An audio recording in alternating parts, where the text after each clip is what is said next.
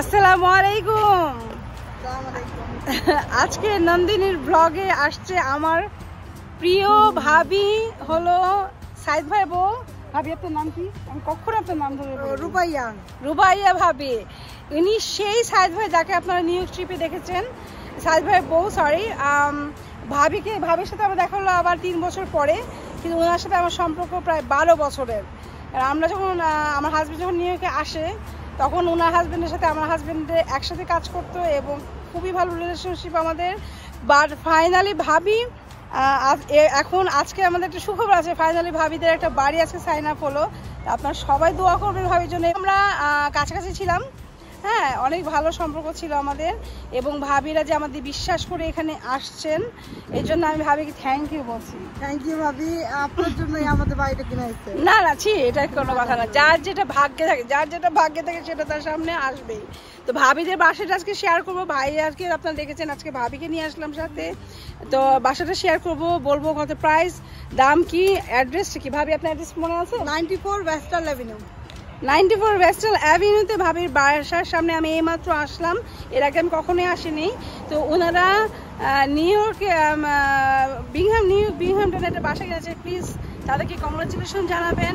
এবং ভাবি আমার নিয়মিত ভিউয়ার এবং ভাবি প্রথম ব্যক্তি যিনি আমার ইউটিউবে সাবস্ক্রাইব করেছেন। So thank you so much ভাবি।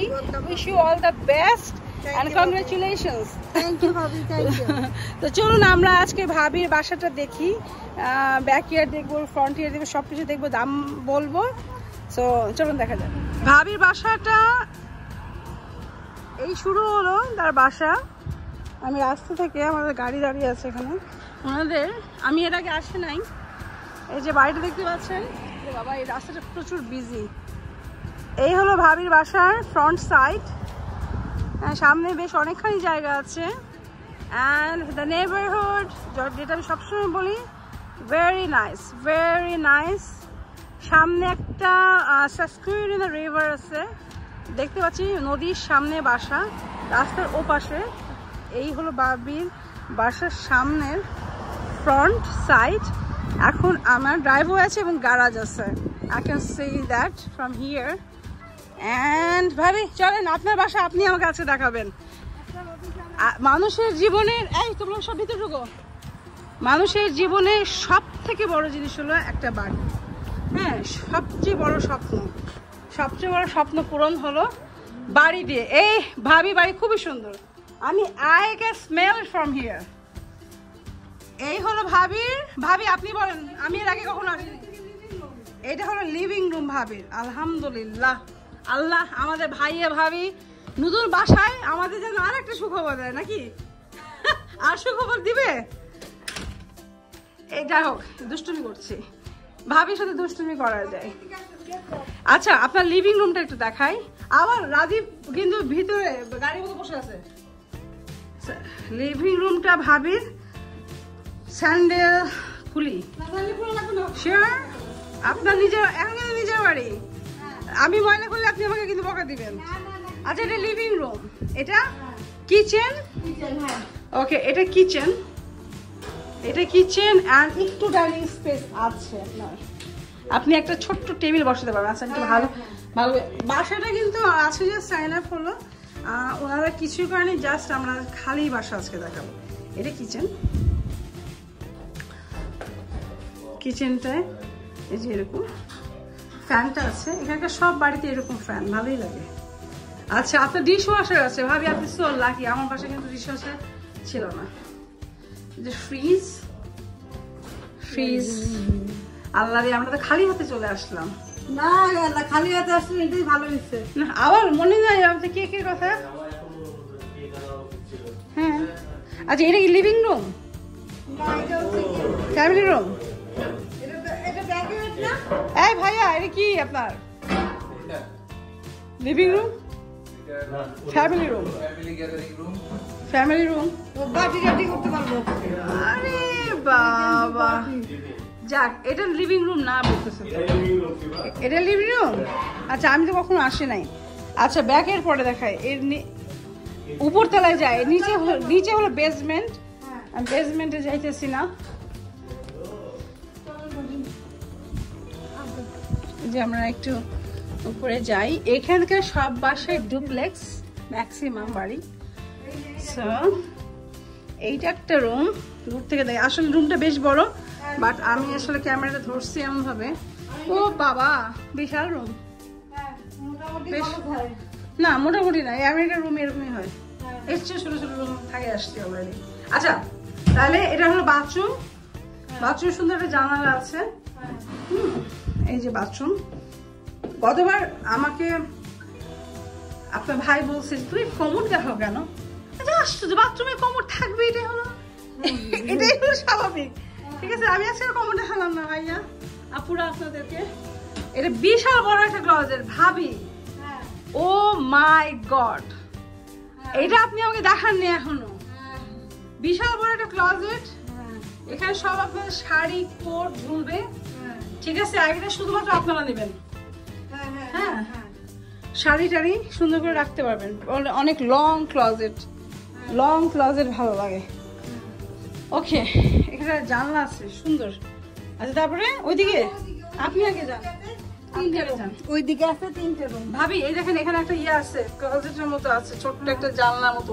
এখানে যে সব জিনিসপত্র আপনার লুকিয়ে রাখবেন সেই সব জিনিস আমার বাসা একটা আছে এরকম। না না কার্পেট কিচ্ছু হবে না। কার্পেট নট ব্যাড কার্পেটটা আপনার ক্লিন করে দিতে হবে দ্যাটস ইট এবার কার্পেটে ভালো কার্পেট আচ্ছা ওই পাশে একটা রুম এটাতে সুন্দর জানলা আছে আর এই পাশে কয়টা রুম তিনটে রুম আচ্ছা আপনার পিচ্চিটার জন্য। হ্যাঁ। এখানে এই রুমটা আছে মোটামুটি পরোটা সাইজ নট ব্যাড আপনি আপনার ছেলের জন্য পারফেক্ট হ্যাঁ। এই যে সুন্দর ক্লজেট আছে জানালা আছে। ভাবির বাসার একটা জিনিস আমার খুব ভালো লাগছে যে প্রতি রুমের সাথে জানালা আছে। হ্যাঁ। আচ্ছা তারপরে? এটা আচ্ছা এটা মোটামুটি বড় আছে দুই মেয়ে। ওটার আপনার একবারে বাহ! হ্যাঁ। ভাবির বাসা একটা জিনিস খুবই মজা ভাইয়া ভাবির একটা পার্সোনাল রুম হয়ে গেল। বাচ্চাকে ডিস্টার্ব করবে না। কারণ তাদের রুমটা একেবারেই আলাদা। আমি আমি যখন আমার বরের সাথে ঝগড়া করে আসব দেখি আমা- এটা হলো আমাদের ঝগড়া রুম আমি যখন আমার বরের সাথে ঝগড়া করে আসব তখন আমি আপনার এই রুমে থাকব তাই না? তাহলে আপনার মেয়েরা কোথায় থাকবে? না আমি এই পাশে ছোট্ট একটা ভাবি আপনি এখন আসছেন আমার বোন আমার ভাবি। আমি এখন ইচ্ছা করে ঝগড়া বাঁধাবো ঝগড়া টগড়া কইরা আমি বাপের বাড়ি গেলাম। ভাই বাড়ি গেলাম। বলতে পারি না নাকি? আচ্ছা এই রুমটাও কিন্তু আপনার মাস্টার বেডরুম আপনারা করতে পারেন। যদি মনে করেন যে আপনারা বাচ্চারা দুই রুমে থাকবে আপনার তো তিনটা বাচ্চা ছোটটা তো আপনার সাথে থাকতে পারবে। হ্যাঁ। বা বন্ধুর সাথে থাকল। তাহলে আপনার এক সাইডে এটা করলেন তিনটা রুম প্লাস ওই পাশেরটা কিন্তু ওই পাশেরটা কি গেস্ট রুম করা যায় হ্যাঁ, হ্যাঁ। মানে আপনারা নিজেরাও ইউজ করতে পারবেন গেস্ট রুমও করতে পারবেন। এই রুমটা অনেক বড় অনেক বড় এই রুমটা এই রুমটা বিশাল বড়। এবং এখানে খাটটার পেতে আপনার তারপর একটা ছোট্ট জায়গা থাকবে একটা দিবান দিবান বা হ্যাঁ, হ্যাঁ, কিছু করার জন্য। এস হিউজ আচ্ছা এটা হলো বাথরুম এটা বাথরুম হ্যাঁ। বাবা এটা হলো আপনার মেইন বাথরুম হ্যাঁ হ্যাঁ ওটা ওটা ওটা ওটা থেকে শাওয়ার ছিল? হ্যাঁ, ওটাও শাওয়ার হ্যাঁ। হ্যাঁ ইটস হিউজ ভাবি আমার মানে কি বলব আমি খুব খুশি হয়েছি। আসলে ভালো মানুষদের সাথে সবসময় ভালো হয়। ঠিক আছে? এই যে ওনার বাথরুম খুবই সুন্দর অনেক বড়। অনেক বড় বাথরুম একদম টাইলস টাইলস ফিটিং করাই আছে। এখানে আমি। সুন্দর সুন্দর বাথরুম এই তো বাথরুম তো নিউ আপনার। হ্যাঁ কমর আবার আবার বলবে কমর দেখাচ্ছ কেন? বাথরুমের কাজটা কি মানুষের? তো কাজ। হ্যাঁ এই যে আপনার। খুবই সুন্দর বাহ। হ্যাঁ। আপনার দিয়ে দিয়েছে নতুন। হ্যাঁ। আমার আর কি চান ভাবি? না খুব সুন্দর হয়েছে। ভাবি চল আমরা ব্যাকে ভাবি এখন আমরা ব্যাকে যাচ্ছি যে লিভিং রুমের পাশ দিয়ে। পিছন দিয়ে আর কি। স্লাইডিং ডোর আছে। ওনার একটু সুন্দর করে ডেক করা আছে। ওয়াও ভাবি আপনাকেই তুলি আজকে। আপনার বাড়ি। খুবই সুন্দর। পাশে নেইবারও মনে হয় খুব ভালো।